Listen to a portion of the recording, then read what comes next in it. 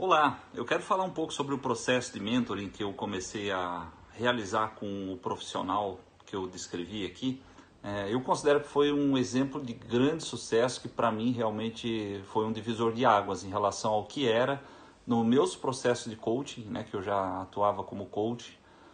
e agregando aqui as ferramentas do mentoring, onde eu pude assessorar esse profissional é, nas suas atividades, na sua busca profissional, na sua identidade profissional acima de tudo.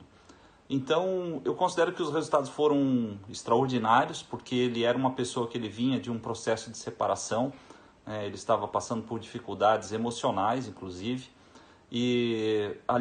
aliando, as ferramentas de coaching, né, que obviamente eu tive que aplicá-las durante o processo com 10 sessões,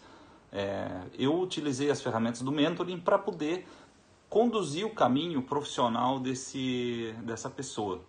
É, eu realmente me sinto bastante satisfeito de, de ter passado por todo esse processo, de ter ajudado esse, essa pessoa. É, hoje ele atua como gerente de vendas numa empresa que revende produtos para postos de combustíveis, é, alguns produtos relacionados a, a aditivos, lubrificantes, enfim. E, e, ele é muito agradecido por todo esse processo. Então, eu acredito que a Global Mentoring Group foi uma,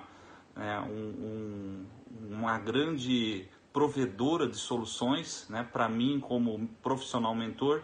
e para essa pessoa, né, para esse cliente que eu atendi, é, a partir do momento que ele conseguiu melhor direcionar a sua carreira. Então, eu espero que essas ferramentas possam ser replicadas durante muito tempo para muitas pessoas é, eu estou aqui me dedicando a essa carreira profissional, tanto dentro da empresa na qual eu trabalho como executivo, quanto na